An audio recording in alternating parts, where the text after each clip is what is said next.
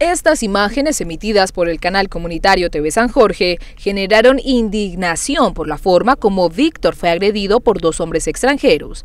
La forma como lo golpearon le causó lesiones en la cabeza, pero también mucho pesar en la comunidad que pidió justicia. La presidenta de la Asociación de Recicladores se tomó el trabajo de acudir a la policía llegar hasta el lugar donde residen los extranjeros y a quienes se les manifestó el descontento por la forma agresiva como procedieron. El pueblo cañero está indignado por las imágenes de cómo fue golpeado don Víctor, recuperador ambiental. Estamos haciendo la, la respectiva denuncia la policía enterada del caso hará lo propio para que las lesiones personales causadas no queden impunes, ahora que Víctor ha encontrado quien los acompañe. Ya el día ya se logró identificarlos plenamente a los agresores.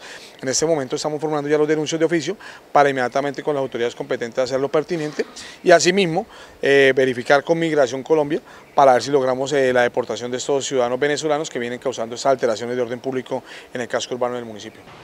También se busca ser atendido en medicina legal para que se determinen las lesiones recibidas y poder judicializar a los responsables de las agresiones, quienes no quisieron hablar para este medio de comunicación.